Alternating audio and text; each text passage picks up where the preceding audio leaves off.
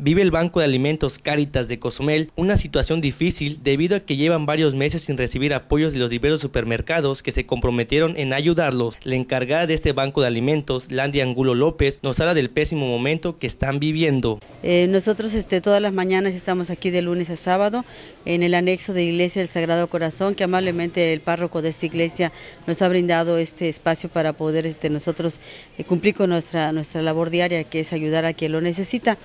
Nosotros en, este momento pues estamos pasando por una situación difícil porque este, no estamos recibiendo el apoyo que nos da la Fundación Walmart, que es SAMS y, Bodega Obrera que es la que nos, proveía mucho de, ya sea de, pan o de, o abarrotes, algún insumo que, que, la, que la tienda nos daba, ¿no?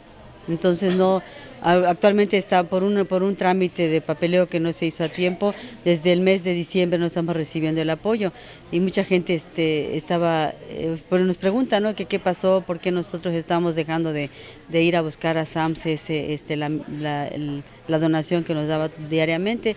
Y ese es el problema que tenemos ahorita que no se ha hecho todavía el trámite, no se ha autorizado por medio de la Fundación Walmart y la Fundación Caritas, que somos nosotros, para que sigamos recibiendo ese apoyo que, siempre nos ha dado la Fundación. Comentó que se inscribirán en el proyecto del Acuerdo San Gervasio para buscar la posibilidad de ser apoyados con recursos y mercancías para entregárselos a las personas que se encuentren en condiciones vulnerables. Dependemos de lo que de lo que nos donan, de los bienhechores que nos donan. Y si no tenemos el apoyo, pues pues estamos así cruzados de brazos, no podemos este, apoyar o no podemos hacer nuestra labor como quisiéramos, ¿no?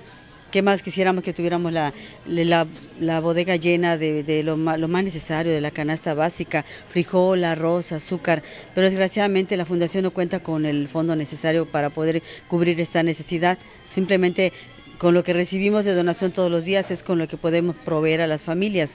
Actualmente estamos haciendo un trámite ante el Acuerdo San Gervasio, en el cual nosotros vamos a meter nuestra, nuestra solicitud, a ver si eh, sería posible de que nos pudieran dar una, una, este, un apoyo por medio de este Acuerdo San Gervasio, que lo, está tramitando el municipio y, esta fundación y podamos nosotros este, recibir ese apoyo, ya metimos nuestra solicitud, a ver si, este, si podemos eh, si nos autorizan y nosotros de esa manera poder tener un recurso para comprar todos los insumos necesarios para la canasta básica, que son arroz, frijol, azúcar, leche, este, galletas o lo que más necesita la, familia para poder este, sacar adelante en, lo que es alimentación a, a, todos los miembros de una familia, ¿no? Angulo López exhortó a la población y las empresas a que se unan y ayuden con diversas donaciones para que este banco de alimentos siga trabajando en beneficio de los que más lo necesitan. Entonces, este pues nosotros estamos haciendo por este medio que ustedes nos están brindando ahora, poder hacer eh, extensiva nuestra invitación a las empresas, a los, a los pequeños supers o a las pequeñas tiendas que muchas veces tienen eh, productos que ya caducaron o que ya no pueden estar a la venta del público por, por su caducidad. Nosotros recibimos ese producto porque después de dos o tres meses todavía se puede utilizar, ¿no?